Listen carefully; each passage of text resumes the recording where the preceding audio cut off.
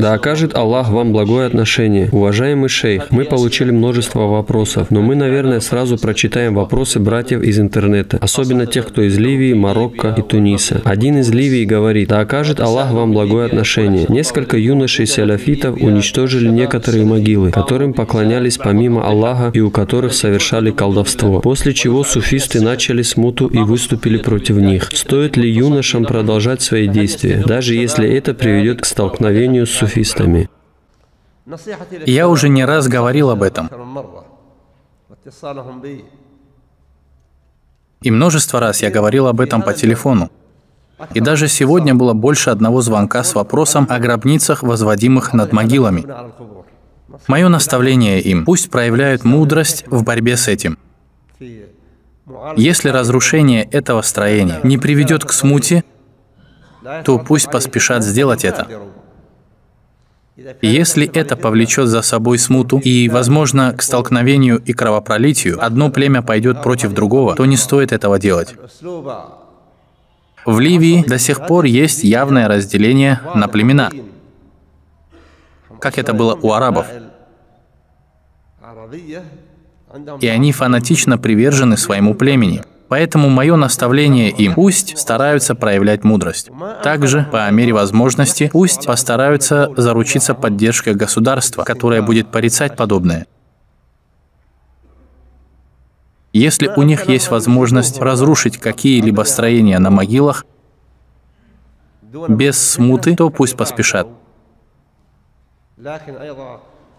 Также пусть покажут тем, кто не порицает их за это, свою благодарность и покажут, что это правильный путь. Надеюсь, что Аллах смоет идолопоклонство с наших стран. Аминь. Да окажет Аллах вам благое отношение. Наш брат Абуль Харис из Ливии приветствует тебя и признается в любви. Он говорит, каково положение участия в вопросе о становлении шариата единственным источником законодательства. Следует ли нам участвовать в голосовании? Другой брат из Египта спрашивает об участии в выборах и что это противоречие секуляристам. Каково решение шариата в этом вопросе? Следует ли им принимать участие в голосовании? Мое наставление всем ливийцам. Пусть боятся Аллаха, велик Он и возвышен в своей стране. Пусть знают, что нет решения более справедливого, чем решение Аллаха. Пусть знают, что те, кто хочет решения помимо решений Аллаха, хотят суда времен невежества. Та страна является мусульманской, хвала Аллаху. Они постоянно прибегают к Аллаху. Мне понравилось, что во время войны они постоянно говорили, если пожелает Аллах, с помощью Аллаха, по милости Аллаха, я надеюсь, что это повлияет на всех и побудит людей повиноваться Аллаху. Согласие на принятие законов, которые будут использоваться для суда над людьми, и которые не взяты из шариата, является согласием на принятие законов шайтана. Мое наставление им – пусть призывают к возвеличиванию шариата и принятию его в качестве закона. Я слышал слова Мустафы Абдуль-Джалиля, советника и судью там. Там он сказал, что они в исламской стране и так далее. И я надеюсь, что Аллах даст им это. И Ливия станет одной из стран, которых законом является шариат. Среди своих соседских стран Египта, Туниса и Алжира и что она станет образцом. Хоть знаний в Египте и больше, ливийцы ближе к фитре. Надеюсь, что Аллах воплотит для них это. Следует ли нам участвовать в голосовании? Пусть участвуют и укажут, что они за разрешение по шариату и ничему иному. Шариат, хвала Аллаху, совершенен. Нет проблемы, решения которой не было бы в шариате ислама. Вопрос брата из Египта об участии в выборах. Относятся ли они к шариату или нет? Голосование за того, кто возвеличивает ислам, помогает истине и призывает к решению на основе шариата.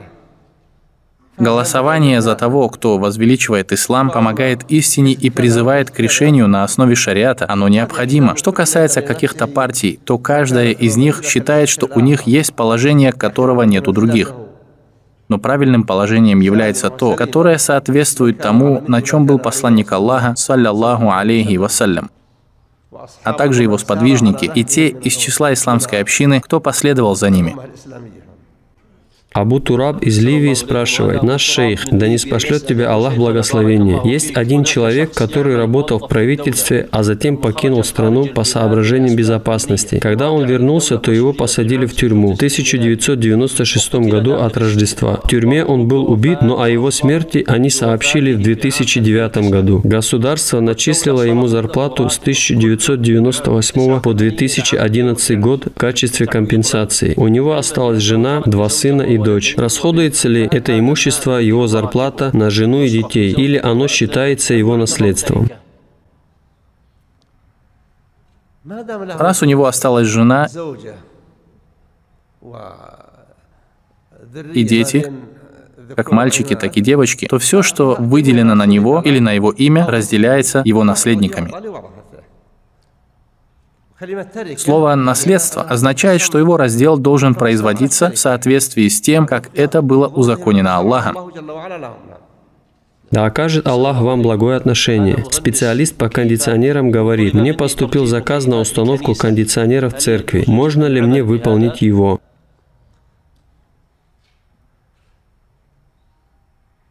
Ищи себе другой заказ. Не работай над установкой кондиционеров в церкви, чтобы она была пригодна для посещения.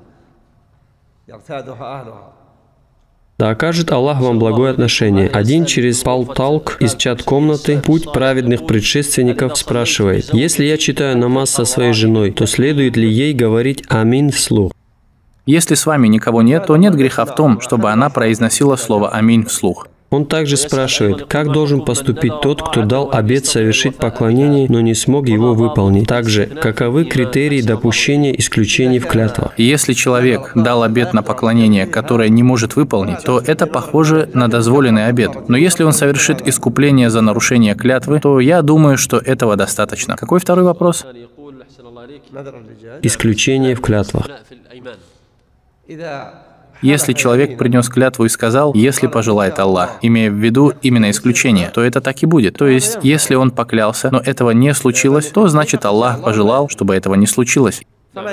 И как следствие, он не должен совершать искупление. Каково положение мольбы Аллаху посредством поступка живого праведного человека, например, если он попросит у Аллаха о чем-то посредством благого отношения такого-то к своим родителям? Это невежество. Аллах Велик Он и Возвышен сказал, у Аллаха самые прекрасные имена, посему взывайте к Нему посредством их. Если он хочет попросить у Аллаха посредством чего-либо, то пусть взывает посредством Его имен и атрибутов. Также этот праведный человек может заблуждаться в чем-либо. Необходимо хорошо думать о человеке, но его деяния сотворены. Аллах сотворил его деяния, а человек должен обращаться в мольбах к Аллаху, велик он и возвышен. Он приводит доказательства обращения Умара, да будет доволен им Аллах, посредством Аль-Аббаса, да будет доволен им Аллах. Слова «помолись Аллаху за меня» — это не одно и то же, что мольба Аллаху посредством чьих-то деяний. Если суть в этом, то вопрос некорректен. Здесь же спрашивается о мольбе посредством деяний человека, который был благочестив со своими родителями. Что касается того, что если человек скажет кому-либо «помолись Аллаху за нас», ожидая от этого блага, то пусть говорит. Когда Умар, да будет доволен им Аллах, вышел для чтения молитвы о прошении дождя, то он сказал «Мы просили у пророка, чтобы он помолился о дожде для нас, когда он был жив, а сейчас мы просим об этом у дяди нашего пророка, саллиллаху алейхи вассалям. Встань, у Аббас, и попроси у Аллаха для нас». Это не то же самое, о чем говорилось в вопросе. Да окажет Аллах вам благое отношение. Другой говорит, у нас на работе есть рафидиты, следует ли нам приветствовать их первыми? Нет, не приветствуй первым, но проси Аллаха, чтобы Он направил их. Другой говорит, я один из получающих знания и посещаю уроки, в том числе и этот, благословенный урок. Но когда я выхожу с урока, то чувствую, что не получил никакой пользы. Каково ваше наставление по этому поводу? Мое наставление – выучи урок перед тем, как прийти и повторяй его. Когда ты придешь, то если ты услышишь все ответы на вопросы, интересовавшие тебя на тему урока, то восхвали Аллаха великую и возвышен. Но если у тебя остались вопросы, то подготовь их и задай. Да окажет Аллах вам благое отношение. Каково положение слов «Мой посредник Аллах»? Аллах не может быть твоим посредником. Скажи «Аллах мой заступник». Или Аллах тот, к кому я прибегаю за помощью. Или Он тот, на кого я полагаюсь и уповаю, велик Он и возвышен. Да окажет Аллах вам благое отношение. Завершим на напутствии от вас на тему призыва некоторых заинтересованных лиц прошлую субботу к собраниям и забастовкам. Где это было? Эр-Рияде в интернете был призыв к сбору в определенных местах для порицания несправедливости и тому подобного. Они собрались? Нет, не получилось, но призыв был. Скажите свое напутствие. Как бы то ни было, в первую очередь я советую всем молиться Аллаху о том, чтобы Он рассеял печаль скорбящих и избавил обиженных от несправедливости во всем мире мусульман чтобы Он дал победу истине и тех, кто на истине, и унизил ложь и тех, кто на лжи. Также пусть просят Аллаха о том, чтобы Он направил их правителей к тому, что Он любит и чем Он доволен в отношении политики со своей паствой, благому отношению к ней и избавлению ее от зла. Также пусть просят о поддержке всем, кто ведет дела мусульман, тем, что поможет ему добиться довольства Аллаха велик он и возвышен. Праведность правителя является благом для всех. Поэтому имамы-предшественники, такие как имам Ахмад и другие, говорили, если бы я знал, что у меня есть мольба, на которую придет ответ, то я использовал бы ее за имама. Так как праведность правителя является благом для всех. Если же человек праведен сам по себе, то он делает лучше самому себе.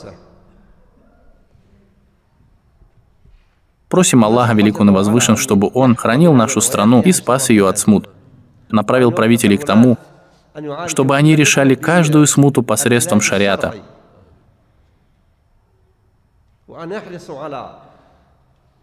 Чтобы они стремились улучшить общину, обезопасить ее, установили в ней справедливость, помогать каждому, кто призывает к истине, и унижать каждого, кто призывает к лжи, а также чтобы они стали помощниками для людей истин. Также я прошу его, велик он и возвышен, чтобы он скорее дал жителям Сирии облегчение,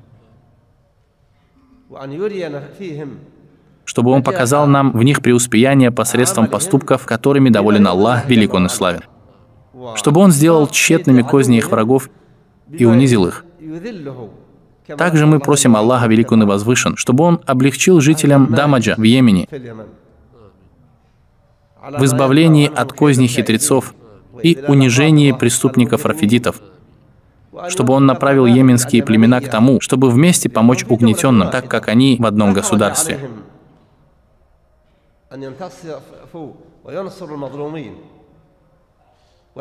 Ранее и даже в период невежества Арабская община объединялась для помощи угнетенным против угнетателей. Пророк, саллиллаху алейхи вассалям, сказал об одном из таких союзов. «Если бы меня позвали к такому в исламе, то я согласился бы». Поэтому я надеюсь, что племена Йемена, которые видят, что делают хуситы и рафидиты, проснутся и помогут угнетенным и унизят угнетателей. Что побудило хуситов пожелать стать местом, куда будут наступать чалмоносцы Тегерана? И загрязнять Аравийский полуостров заблуждениями персов-язычников и шиитов – Просим Аллаха Великого Возвышен, чтобы Он сделал тщетными их козни, и чтобы Он сделал тщетными козни всех, кто хочет исламской общине зла. Поистине Он отвечающий на мольбы. И последнее наше заявление. Хвала Аллаху Господу миров, да благословит Аллах нашего пророка Мухаммада, а также его род из подвижников, и да приветствует их всех множественно. Ассаляму алейкум, уважаемые братья и сестры. Открыт прием новых студентов в исламские университеты Священной Мекки и Медины – на факультеты Корана, Хадиса, основ религии, правоведения, а также светские факультеты, программирования, инженерии и медицины. Каждому студенту выдается жилье и стипендия на все время учебы. На летние каникулы бесплатные авиабилеты в свою страну и обратно. Для подробной информации и для поступления обращайтесь по нашему номеру WhatsApp плюс 966 591 421 235. Наш официальный аккаунт в Instagram Islamic University Madina. Желаем вам скорейшего поступления.